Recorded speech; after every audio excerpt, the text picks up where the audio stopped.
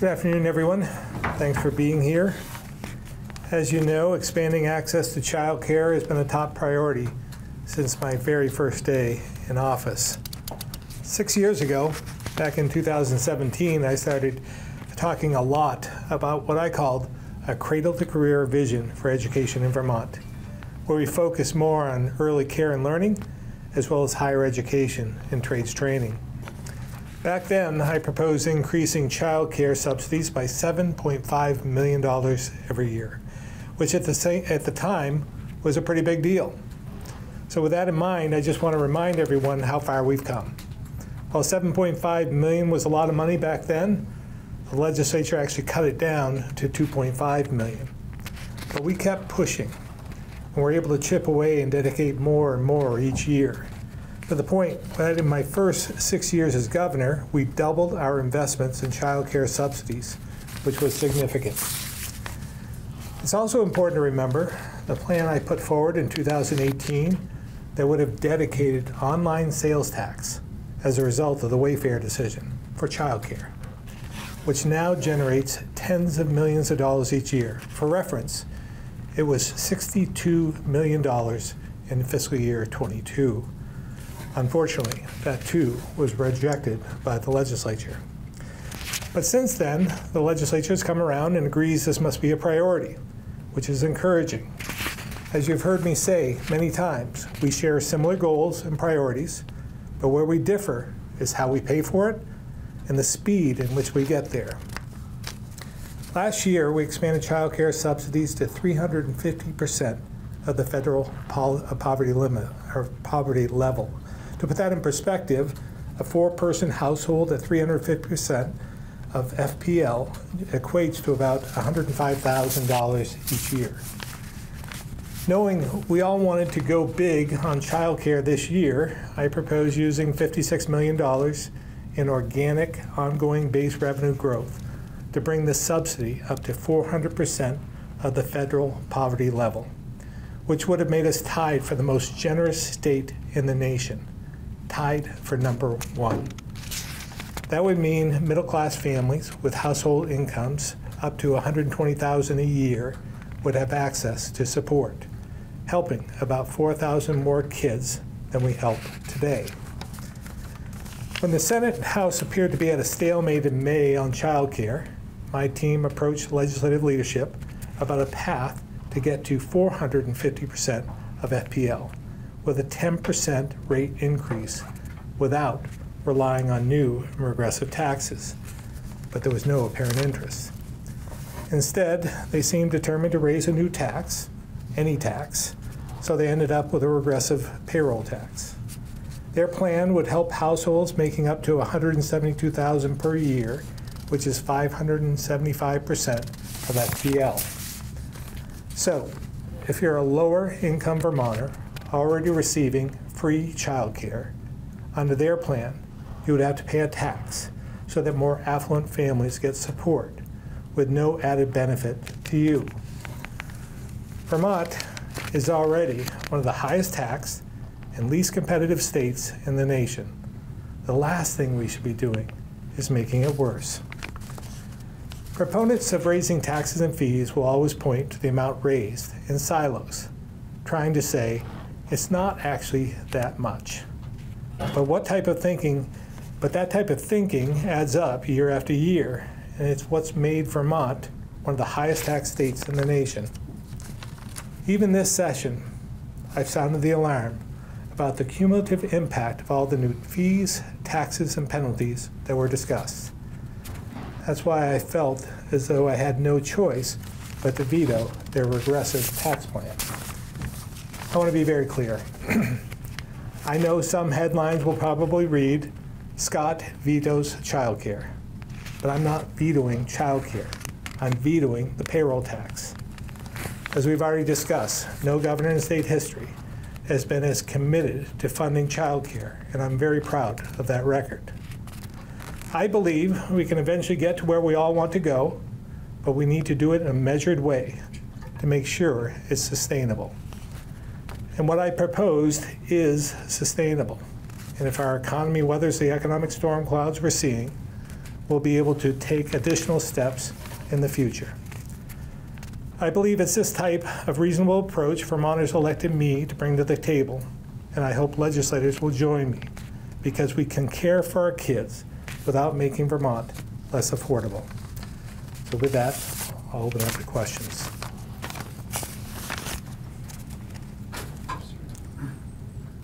Governor, did I hear you say that you will be or have vetoed S fifty-six?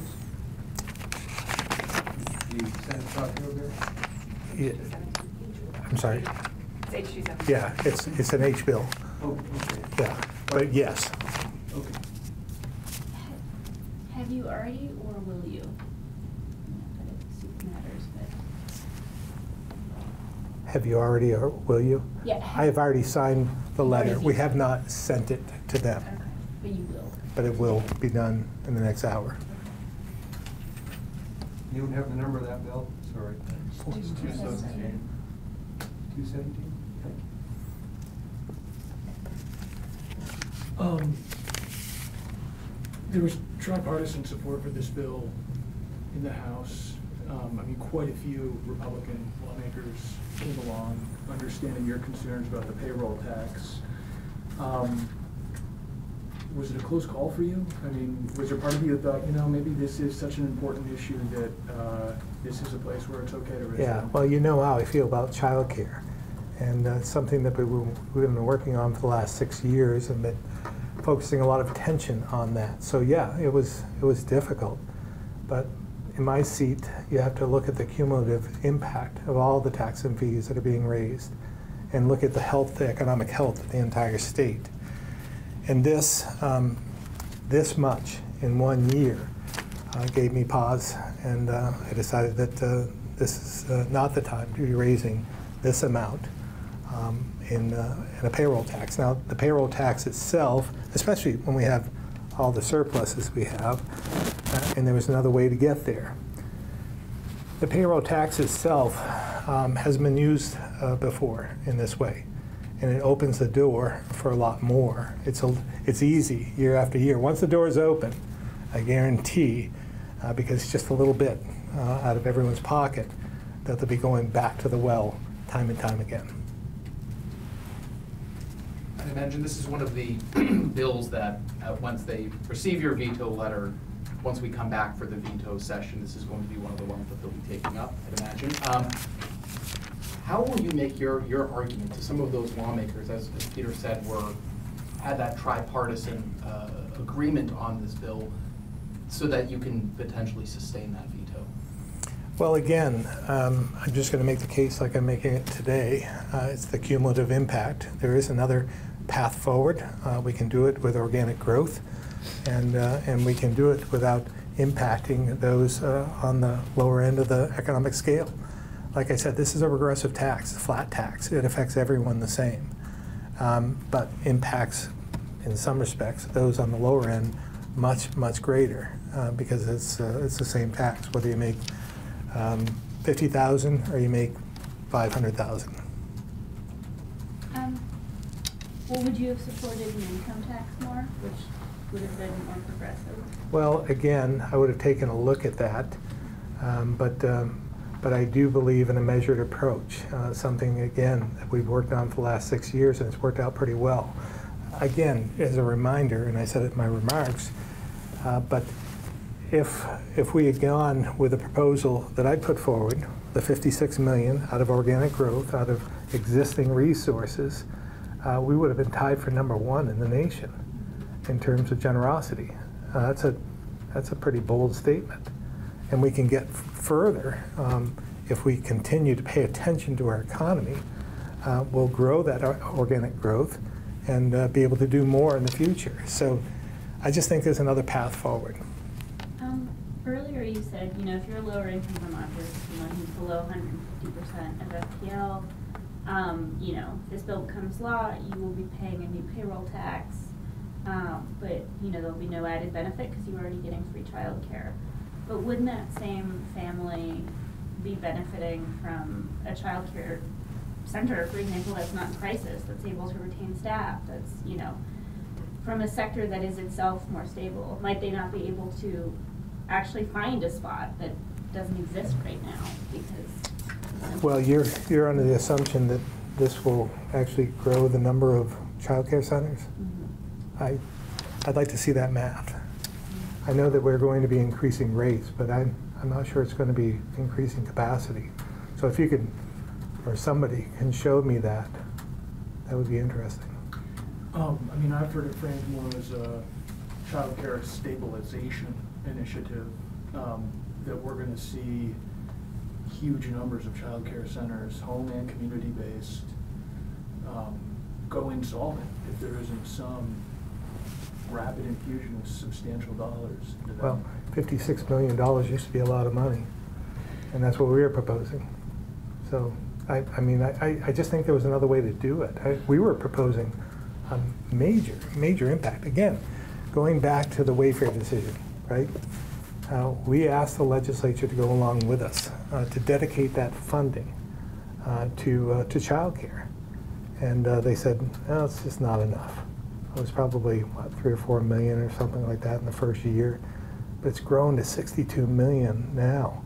Had we taken advantage of that, coupled with the 56 million, we wouldn't be talking about any taxes right now. So, again, I think that, I mean, I don't think, I don't recall them saying it's not enough. I recall them saying it's a rate on the education fund because it's a sales tax and that. Well, it wasn't, it wasn't dedicated to that at that point in time. It was a new, a new tax. It was, it was a new provision. So, it would have been easy, we've had surpluses since. So I, I, you know, I just think that we squandered an opportunity there. I gather from statements that you've made in the past that relate to child care that you view the fifty-six million dollars in your budget proposal as an investment, an investment that was going to yield returns, economic benefits to the state by virtue of, you know, pa- young parents having access to childcare. Um, Why not view this legislative package in the same terms, that childcare is a thing that is gonna have economic dividends um, down the line, that we're gonna get more dollars and we put in for it? Uh, Well, because with our proposal, we didn't have to take a loan to do it. We're making mortgage payments. That's basically what we're doing now. We're asking Vermonters uh, to make payments on this, mortgage payments, to pay for it. We did it with existing revenue. And it makes a huge difference.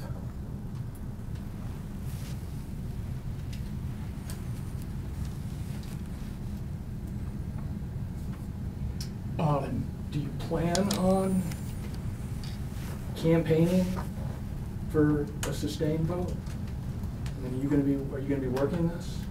We're going to be working, anything we vetoed, uh, we'll be making our case. You know, I, I mean, I don't know about campaigning. We're not going to be taking out any ads or anything of that nature. Uh, But we are, we're going to make our case. To who, I mean, are you gonna be calling in individual lawmakers? Well- What's that gonna look like? Again, we're, we're going to be doing it in the court of public opinion, I think. I think that's the only hope we have. Uh, They obviously, I mean, I've said this last, last week, um, they obviously have the supermajority. They have the power.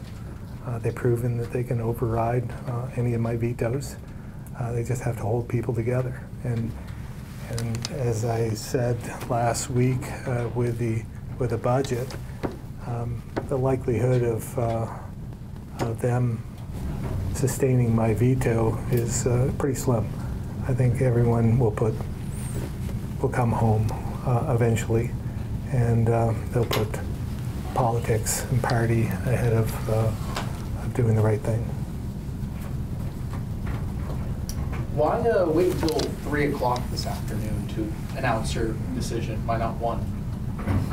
um, weren't ready. Um, I mean, it, it's, there's a lot going on. There's a number of bills we have to go through. Uh, we have until midnight tonight. Um, we thought we were doing a favor by having it early. Uh, I didn't think you wanted to come in at 11.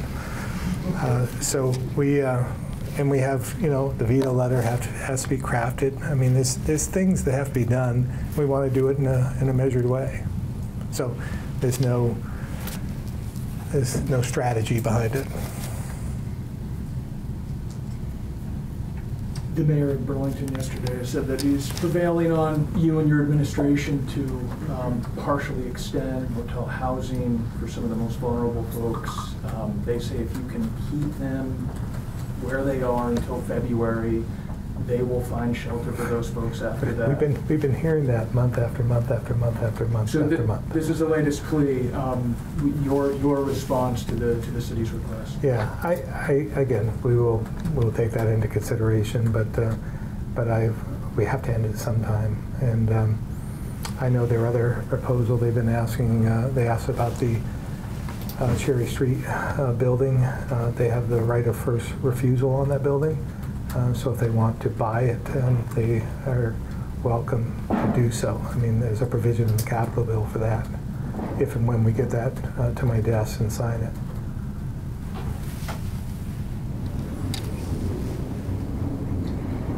Um, Any updates from you or your cabinet on how things are going from where you sit? Might ask the experts if you want to give them an update on what you're hearing and seeing. So as folks know, we exited um, out of the general assistance program around just a little less than 800, hou- 800 individuals. Um, I have to say that I'm really proud of the state employees who, for months, have been working with individuals to help them design and develop plans, and for the service providers that the agency works really closely with. Um, we recognize that this transition is really hard for many Vermonters, and I want to acknowledge that. Um, but what we're seeing on the ground is that the majority of the individuals have had a plan. They've moved forward with a service provider, um, and this mirrors what we've seen in the past for the end of our adverse our adverse weather conditions um, policy. Um, and so we're not seeing a lot of pressures on um, the downtowns or um, a lot of cri- crisis in mental health. And so, um, so far, um, while we recognize the impact it has on individuals, um, we feel like the transition has gone relatively smoothly. Uh, when you say that a majority of heads plan, um, where does that come from? Is that like data that you're collecting? We, we've been monitoring the distal impacts. Um, what are we seeing in our communities? Um, and we're not, and we haven't seen the pressures that many folks anticipated or expected. Um, when we've talked with and uh, worked with clients that we've been working with for months, um, they have been able to find alternative options. Those have ranged from um, paying for hotel rooms to extend them stays because they work, um, to moving back to their home communities.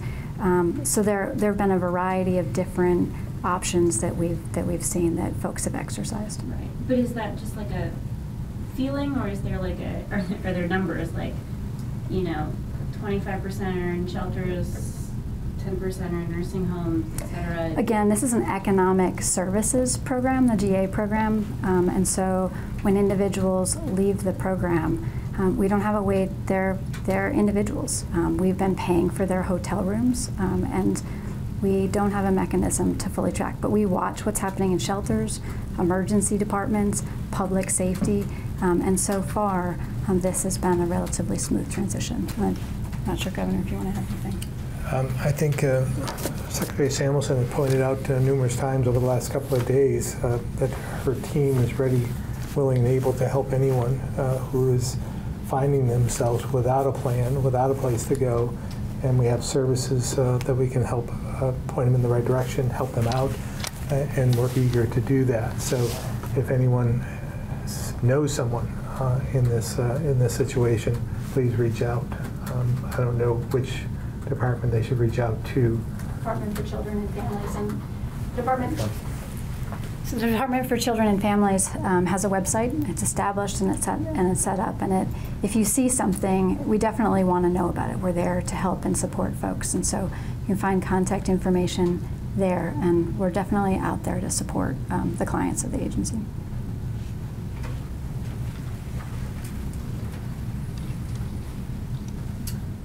Governor, uh, Governor Sununu uh, said that he is not seeking the presidential, um, uh, the the GOP nomination for for the primaries. Uh, What what do you make of this this news, and and what what do you who do you see, I guess, as sort of that middle lane, sort of moderate, if you will?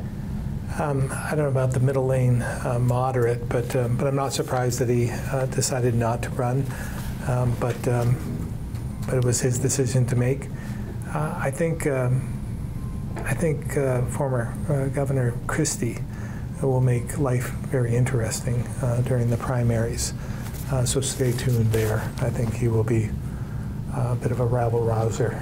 What do, what do you mean interesting? But he's just very quick-witted. Um, he's he will have a lot to say, and um, it, it should be it should be an interesting campaign.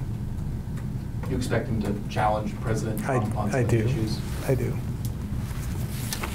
Is Chris Christie somebody you're keeping an open mind about? Oh, sure. Um, yeah, I'll keep an open mind uh, about uh, Governor Christie.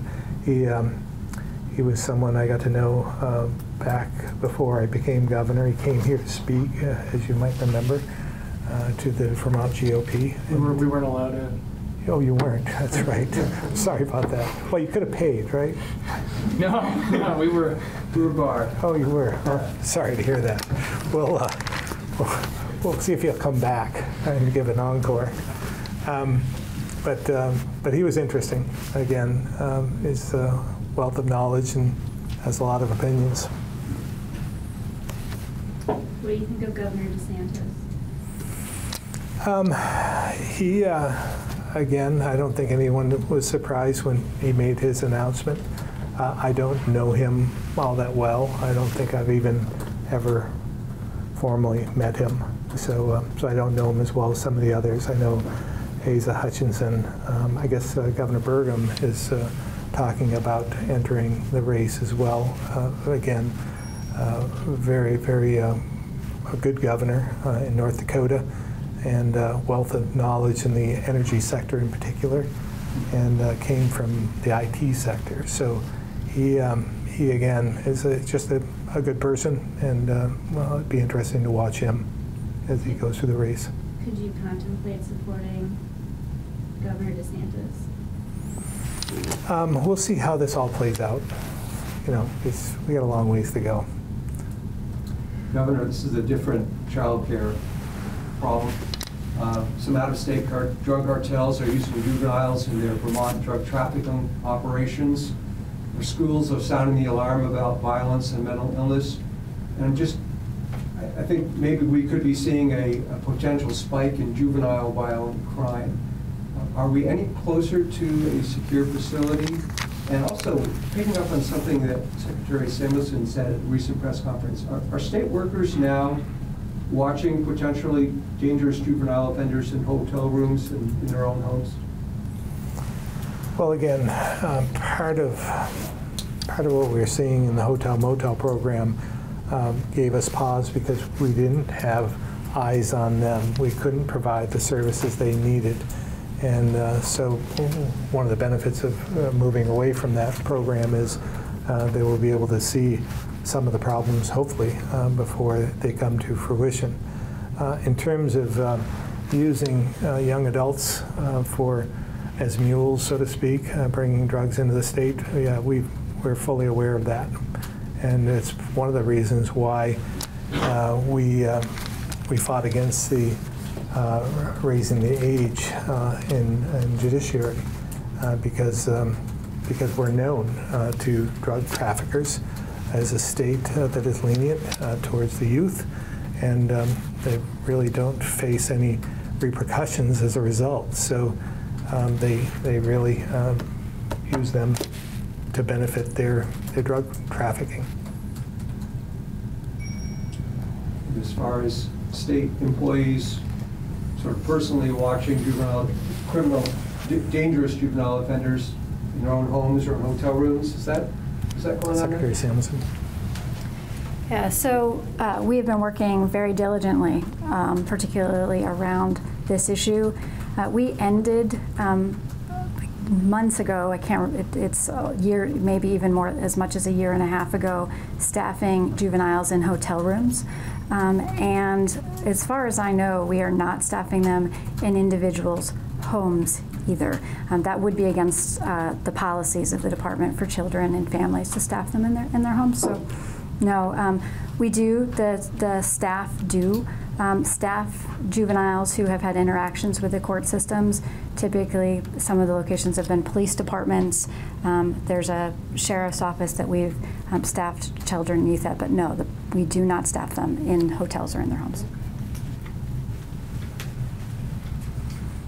Go to the phones, starting with, we can come back to the people in, in the room. Uh, Tom Davis, Compass Vermont.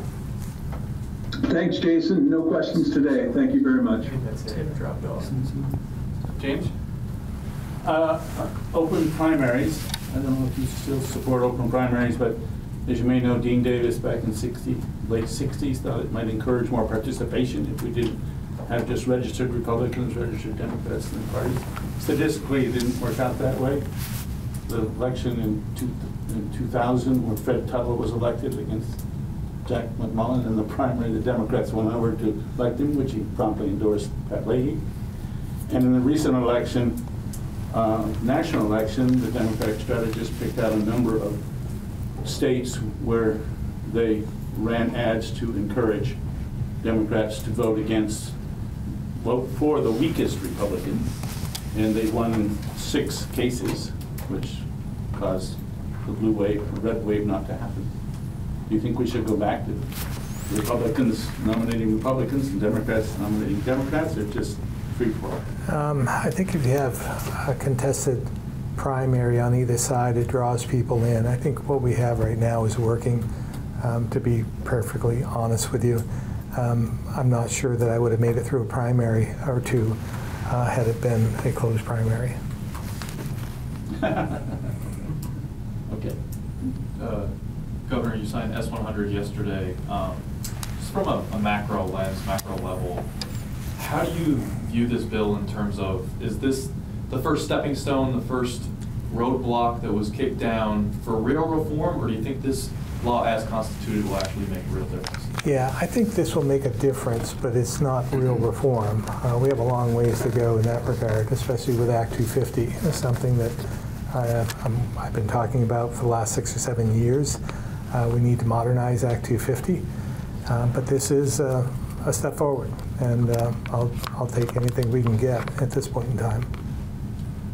Uh, I don't know if you know if Vermont is sending any officials, any firefighters to Quebec to help with the the fires. Yeah, we, um, we did reach out uh, to uh, Canadian officials uh, in Nova Scotia and Quebec, um, and they uh, told us what their needs were. We weren't able to fulfill those needs. Uh, We're fairly dry here, and we're, we're down on staff as well. So um, we'll keep in constant contact with them and do everything we can to support them uh, if it becomes uh, even even worse.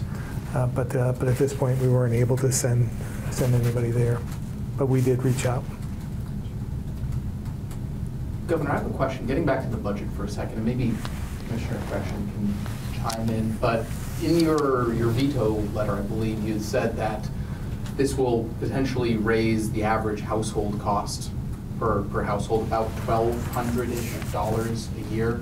Uh, Can you shed a little light on, on how your administration arrived at that number? Yeah, I mean, there's um, Commissioner Greshin probably could do this better than I could, but uh, um, but we just equated the average Vermonter and, and took the uh, the tax pressures fee uh, pressures and uh, add them up, and that's what we come up with.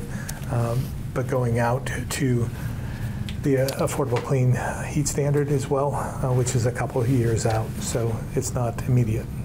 So those, like the S5 costs, those would be. Those would be baked In a in. couple of, those, Right. those, those wouldn't be implemented for a few years. That's right, in a couple of years.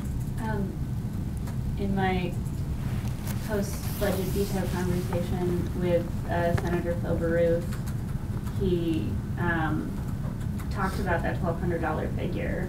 And I can't remember exactly what he said, but, you know, basically he was saying that's made up and fake, and the government what, is lying. what does he come up with? Well, his argument was specifically because you were using the, uh, this extrapolating from what you assume will happen, um, to fuel costs if S five, well, S five is law, but if lawmakers come back and actually do vote on it, and then fuel dealers do increase. I look forward to his, what he thinks the increase will be. I'm sure he agrees there's going to be an increase, right? He seemed to believe that fuel dealers would likely raise their costs. Right. So there'll be a cost increase and the cost pressures with all the other taxes and fees that they're contemplating and that pass into law. I'm sure he must have a figure in mind, but uh, maybe you can ask him that. Well, I think probably say, well, we ordered a study and we'll see what the actual figure is. Well, not just with S5. I'm talking about everything else because we, we took the cumulative impact. What is the cumulative in- impact without S five? I don't know. I, we, I can see. We can get you that. We can- Um, I mean, you talked a lot in recent weeks about serving as a check against Democratic supermajorities in the House and Senate. Um, Are you that anymore? Um, Well, not as effective as I'd like to be, obviously. Um, We'll see what happens at the end of June, Uh, but, um, but it's getting more difficult. This has been one of the more difficult years. Uh, We, particularly with uh, less engagement with the legislature, uh, we were just a bit of a speed bump along the way uh, to their passing whatever they wanted to pass. How has that affected the way you view your job and your, your job satisfaction levels? Well, I don't, I don't keep track of that, uh, but, uh, but I would say um, we continue to keep our head down, uh, plug along, do the best we can uh, to serve Vermonters. And, uh, and I'll continue uh, to, to veto bills that I don't think are, are good for the economic health of Vermont. And regardless of, you know, whether it's satisfying or not satisfying. And uh, I, I think uh, it's just the way we do business. So I just call them as we see them. Governor, uh, Auditor Doug Hoffer says that the agen- Agency of Digital Services you created is underperforming. Uh, Do you, do you agree with that? And what? As compared to the previous uh, Agency of Digital Services? Uh, I believe, did did you not create that? Yeah, we did. Yes. I was being, I was being sarcastic, sorry. Um, You know, I- this has been a- an incredible inflationary time, and I think some of the uh, biggest things we've seen throughout, whether it's in uh, V-Trans or Buildings General Services or Agency of Digital Services or in our own daily lives, going to the grocery store, um, the prices have gone up uh, incredibly in every sector. And um, digital services has, uh, has uh, felt the impact as well. So I think that was the biggest criticism that he had. And uh, obviously, uh, anything uh, we can glean from anything he, he produces, we'll work to get better.